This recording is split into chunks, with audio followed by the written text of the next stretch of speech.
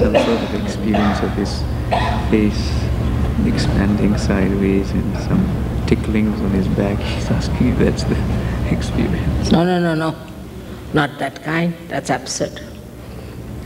The experience is that you become thoughtlessly aware, first of all, and you start feeling the cool breeze on your fingertips. You start feeling the cool breeze coming out of your head. It's the real baptism, as we call it.